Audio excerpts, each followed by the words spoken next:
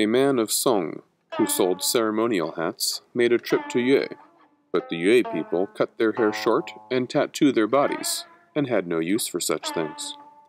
Thus spoke the ancient Taoist philosopher Zhuangzi in the 4th century BC in what is today northern China. Though most people are familiar with Zhuangzi's memorable butterfly conundrum, had he dreamt of being a butterfly, or had a butterfly dreamt of being him? His tale of a hatter from Song is a more apt analogy for this episode. The lesson is simple. When the customs or culture of one place differ from those of another, practices that are familiar in the first will be regarded as unfamiliar in the second. Zhuangzi may just as well have been speaking about the market for antiquities in the Middle East prior to World War I where a widespread perception of cultural disconnect between living and dead gave Europeans the opening they needed to remove untold treasures abroad. China would be different.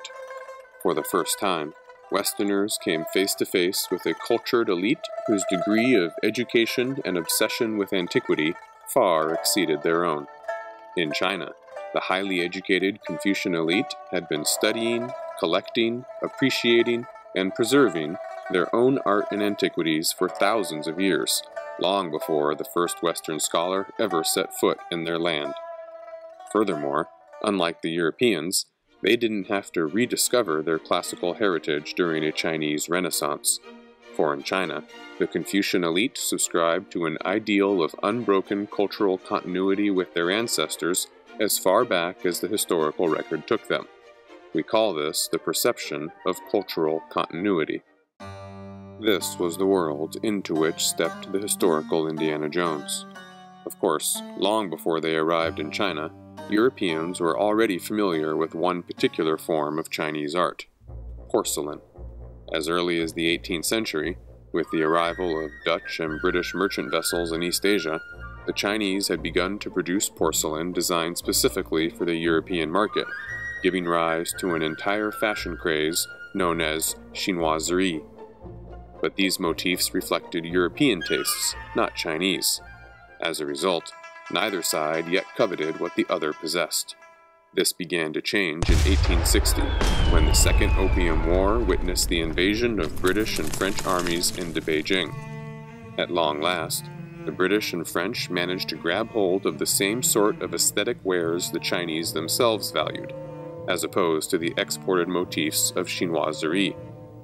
Much of the loot was subsequently auctioned off in Beijing and soon found its way into the international art market.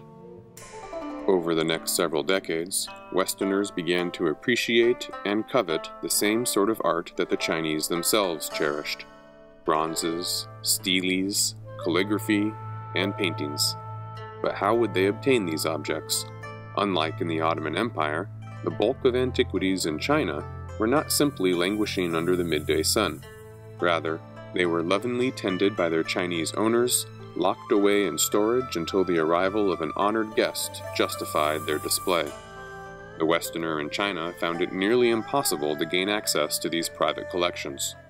All existing channels of acquisition were dominated by Confucian and Japanese connoisseurs, both of whom perceived the entirety of China's 3,000 years of recorded history as worthy of acquisition. It soon became clear that if Western collectors wanted to fill their museums with Chinese art, they would have to tap into a new supply of antiquities.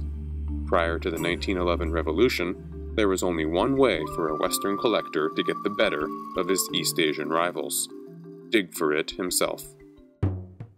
Only through the yields of freshly excavated sites could the Westerner hope to compete with his Chinese counterparts. Such sites were of three sorts tombs, oracle bones, and the desiccated treasures of the Silk Road, which will be treated in episode 14. Much as in Egypt, in China, the lavish graves of the rich and powerful had been dug into by peasants since time immemorial.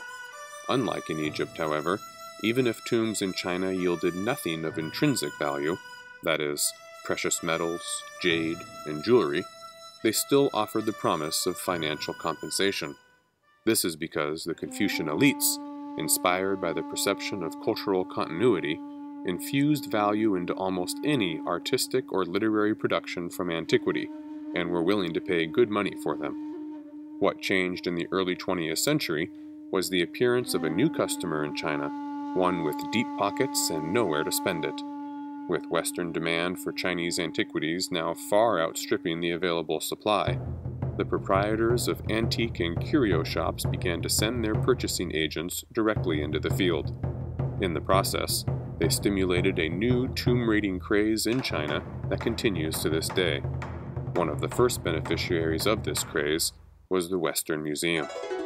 Western collectors also found themselves well positioned to exploit another collection of newly available artifacts oracle bones. In 1899, after a major flood, a tiny village nestled along a tributary of the Yellow River began to produce an unusually large supply of what were known locally as dragon bones. These bones, mostly turtle shells and ox scapula, were highly sought after by Chinese pharmacists and apothecaries, who crushed them into a powder and inserted the auspicious particles into various medicinal concoctions. Fan Wei Qing an antiquities dealer from Shandong who was then passing through the area in search of more valuable bronzes, came across the bones and noted traces of what appeared to be some form of writing on the surface. So he bought several batches of them and took them north to Tianjin to see if any Chinese scholars would buy them. Several did, and the oracle bone business was born. After several years of intense study, Chinese scholars concluded that the faint etchings on bone were the earliest form of the Chinese script yet recovered, dating back to 1250 BC. From that point forward, collectors on all sides clamored for a piece of the pie. The antiquities dealer Fan Wei Qing tried to conceal the location of the village for as long as he could, but the secret eventually proved too good to keep. Local landlords fought over excavation rights to their fields, while peasants scuffled with their neighbors, each hoping to control the supply of bones to wealthy scholars in the cities, both Chinese and foreigner alike. The first Westerners to exploit the oracle bone market were Samuel Couling and Frank Chalfant, American and British missionaries living in Shandong province. Together, they managed to collect several thousand pieces. In the end, tens of thousands of oracle bone fragments would end up in the collections of foreign scholars, diplomats, and missionaries, most of who later donated or resold their bones to Western museums and universities. For the first time, tomb raiders and oracle bone dealers had enabled Western collectors to claim a seat at the table of Chinese antiquities. But it was still just one seat among many, and the elbows of rival Chinese and Japanese collectors ensured the limits of their reach. Apparently, if China was to yield its treasures as the Ottoman Empire had once done, it would only do so under similarly compromising conditions political instability and a perception of cultural discontinuity. With the overthrow of the Qing dynasty in 1911, political instability finally arrived, and the empire quickly dissolved into a patchwork quilt of competing warlord domains. For the next 40 years, War and suffering were constant features of daily life throughout the land. Such chaos reverberated throughout the world of art and antiquities. Within months of the revolution, thousands of former Qing officials found themselves unemployed. In the face of such hardship, even the most treasured works of art were finally put up for sale. John Ferguson, a Canadian missionary with Chinese friends in high places, was one of the best positioned to exploit the sudden glut of antiquities. In 1914, the family of an official who was assassinated during the Revolution contacted Ferguson to discuss a sale. The family, Ferguson wrote, has been left with not much else than the art specimens which the father collected during his life. That same year, Ferguson noted that, quote, the market here has never been so favorable as at present. The reason, he concluded, was due to the necessity of selling collections on the part of those who are no longer in office. It has nearly driven me to bankruptcy to try and buy as much as I have. The next major casualty of the new political instability was public religious art. Prior to the revolution, public installations of Taoist and Buddhist art had generally been kept free of vandalism. With hunger and warfare endemic throughout the land, however, even sites of active religious worship could now be targeted for sale. The tragic results were on prominent display at the Longmen Grottoes near Luoyang. The more than 2,000 caves, carved out of a side of a limestone cliff spanning more than half a mile, contained tens of thousands of Buddhist statues, inscriptions, and steles. Most could be dated from the 4th to the 10th centuries, having survived intact for more than a millennium. But now they were sitting ducks. Men from across the river wade armpit deep in the river and chip fragments from the surface at night, one collector observed. These they took down to Zhengzhou, where agents of the Beijing dealers bought them. In Beijing, the fragments were assembled, and with zeal, copies were made from photographs and rubbings. Western collectors were more than happy to fuel this illicit trade by paying top dollar for anything that reached the city. C.T. Loo, one of the more successful Chinese antiquities dealers, made a fortune exporting vandalized sculptures and art from Longmen and countless other sites to Western museums and dealers throughout the world. In 1934, long after Longmen had been stripped of its most exquisite treasures, Edward Forbes, the director of the Fogg Art Museum at Harvard, attempted to justify the acquisition of so much dubious loot. I think that it is an outrage that the Chinese government should have allowed these great sculptures to be hacked off the walls of the cave and to leave the country, he said.